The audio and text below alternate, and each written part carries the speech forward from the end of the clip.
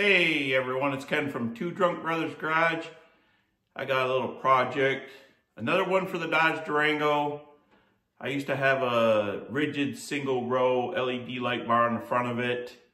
Um, one of my old co-workers backed into the Durango a long time ago and I never got the bumper fixed and the light wasn't aimable where it was mounted. So I'm gonna put a couple of uh, pieces of metal to extend it out a little bit from the front of the bumper and uh, so I can get the light back on there and use it. Cause it's pretty dark up here, right? This time of year. And uh, like to have a little brighter lights when there's nobody coming at me. So all I gotta do is try to get it mounted back to the bumper, get it level, and then connect two wires and uh, get her back working. So I'll get the camera flipped around and uh, show you what I'm doing. Okay, here's the front of the Durango. Here's this LED light bar I have. It used to be mounted um, right in this part of the bumper. As you can see, it's dented. So if I were to try to remount it in these holes here, the light bar would flip down and the, the hood wouldn't latch. So I'm going to take these here and I'm going to take and uh, where I have that groove cut out, as you can see, I'm going to take and mount those in those holes there. and then I can mount the light in that hole, but I'm going to take and cut this off. And uh, so it doesn't stick out too far, just enough to get the light. And then I can yeah, these might be aimed down a little bit, but I can adjust with the feet on the, with the mounting brackets, I can adjust the, the light to get it level. I know it's kind of not the right way to do it, but I didn't get the truck fixed and the truck ain't really worth fixing because it is a 99 and it is uh, got 240 some thousand miles on it. But it's a good light bar, still works good, still bright. And uh, so I'm gonna get that on here and uh, see what I gotta do. But this hole here is big enough for the bolts I'm gonna use. I'm gonna use this bolt right here. It's a, uh, not quite a half inch. It's actually a metric bolt. I have a whole bunch of these. Uh, but this hole over here, it won't fit in. So I'm gonna, I'm gonna make that hole a little bit bigger. So I'm going to do a little bit of drilling. And then once I get those on, I'm going to, like I said, I'm going to cut these off right below, right probably right in here. And uh, mount the light on it, get the light adjusted. Then I got to get under here somewhere and find my, my uh, when I cut this off so I could get the hood open and stuff, I got to go find my other ends in the hood area somewhere where I cut it off um, and do that. So I'm going to just let this keep, actually I'm going to probably just time lapse this and uh, get this mounted up. Okay, so I got that hole drilled bigger. So now the bolt will fit in there. So now I'm going to get these, I'm going to get these mounted on here. And then uh, I will probably just get my, I do have a chop saw that I could use. I got a chop saw that I could use, but I think I'm just going to get my grinder with my cutoff wheel and cut them off in the, on the vehicle.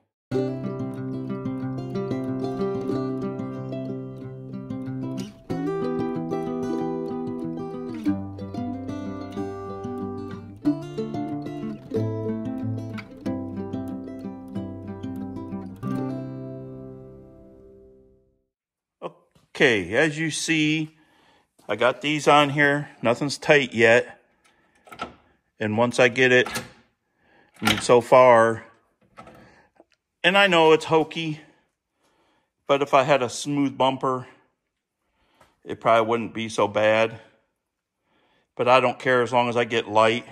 And like I said, I'll cut these off I'll get my grinder out and I'll, I'll cut those off. But I want to get these, I want to get these brackets tightened down before I uh, actually tighten the light bar down and I'll get the, them cut off and then I'll put the light bar back on there. But yeah, I think that'll work once I get it. Then I can get this aimed up to where I need it because I can adjust it on the side of the light bar here once I get these tightened down to these brackets. But like I said, I know if I would have got the bumper redone, but the car is old enough. It's just, I drive it to and from work. It's a beater with a heater.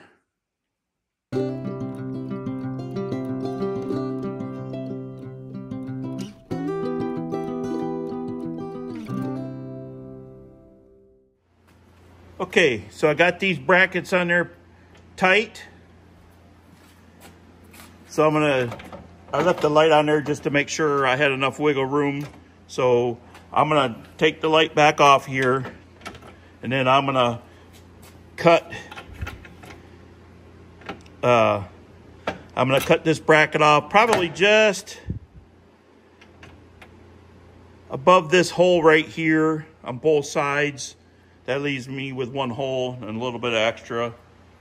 So I'm gonna get, got my grinder, but I gotta change and put a cutoff wheel on it and get an extension cord over here. But that's what I'm gonna, that's what I'm doing next.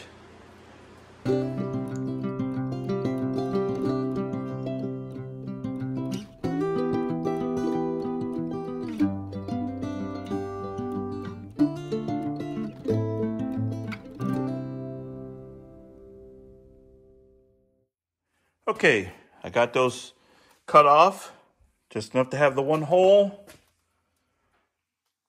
As you can see, now I'll put the light bar back on there and uh, get it semi straight because I won't be able to get it really straight until I get it wired up and can turn it on. But I think that's going to work just fine.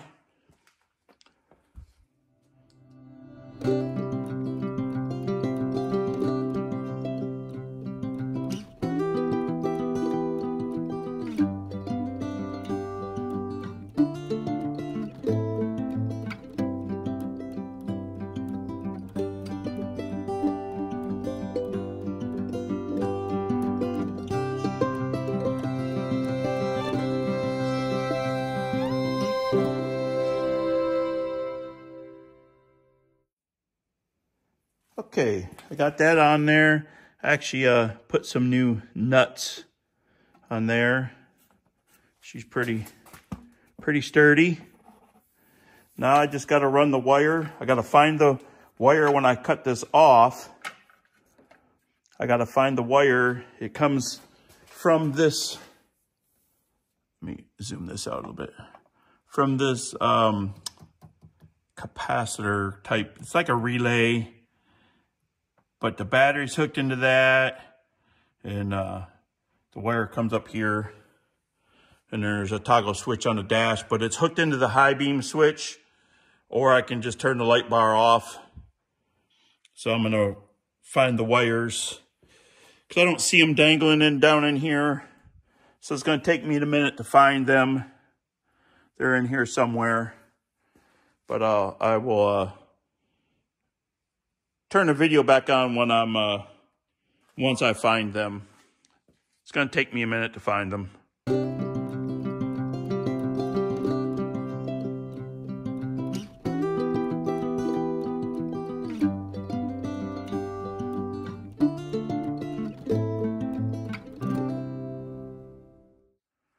Okay, so I decided to put the wire back through the original hole right here and it was just laying in between in the bumper here.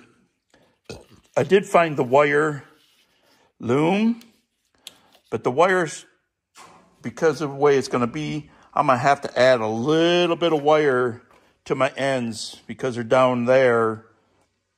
Uh, so I'm going to get a couple short pieces of wire and butt splice them down there. And then I'll pull this back up through here and then butt splice them up here so I can get this all back together again. And once I get them all butt spliced together, it should work immediately because I didn't take apart anything up in here.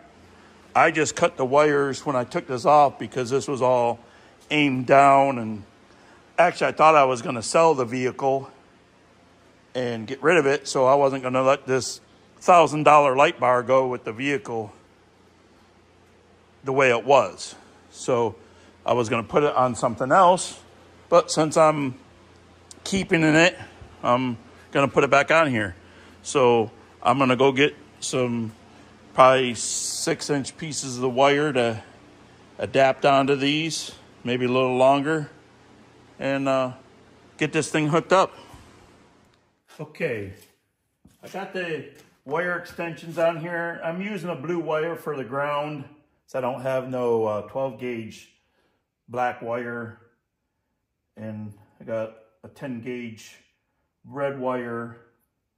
So I'm going to uh, cut these just a little bit shorter and then I'll get these ones butted together. And we should be in business.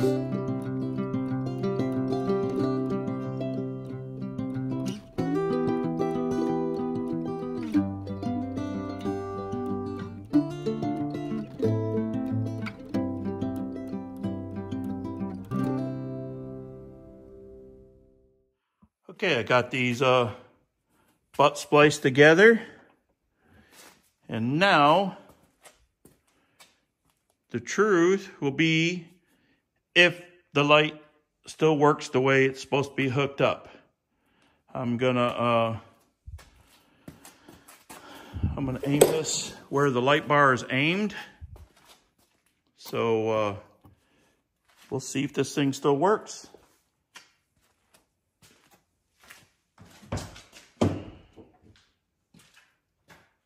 Turn that on.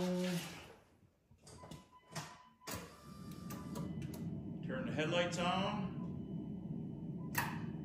And it works. Sweet. Got my light bar back. That is pretty cool. Alrighty. So now I'm just going to, I'm going to take and uh, just finish touching up the wires there, hiding them a little bit more, and uh, wrapping this up. So I'll get these uh, hid under here. Got to put my cardboard back in front of my radiator because I don't know if y'all know Dodges don't like to heat up very good. And since I've had this thing, it don't heat up the greatest and I've uh, flushed the heater core. But uh, yeah, up here in Alaska, you got to kind of put some cardboard in front of your radiator when you're going down the road when it's uh, 10 to 20 below zero to help stuff stay a little warmer. So I'll get this wrapped up.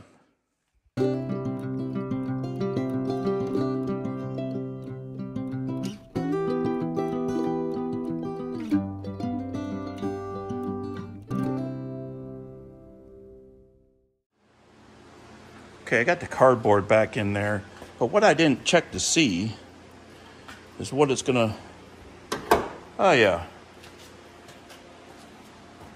that's good. May not be a 100% level, but I don't really care as long as I have light. And I may have to aim it down because it looks like it's a little high. I'll have to wait till I get out at night because right now it's daylight and uh, check it out. But the light bar is officially back on the Durango. Okay, everyone. Got the Durango all wrapped up. Uh, not too hard of a little project. Now I'll be able to see a little better at night. I have some new uh, headlight enclosures coming. and some new fog light enclosures coming. Um, I'm to get rid of the projection headlight enclosures because they're not working as good. They're all fogged over. They're pretty old. Had them on there for uh, probably uh, 10 years now or more. I think I put them, yeah, I put them on when I moved up here. So I've been up here for 15 years. So they've been on there. They're getting a little hard to see. So uh, I hope you like this video. Like, subscribe, comment. Um, it was just something I, I just wanted to put the light bar back on the Durango.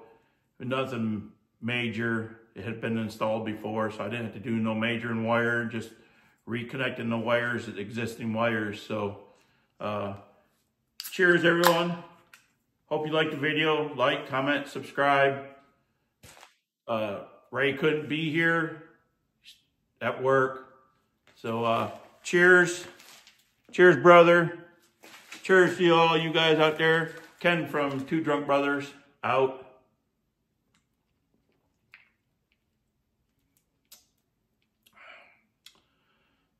Got a can of the Peach Busch Light. It's not too bad.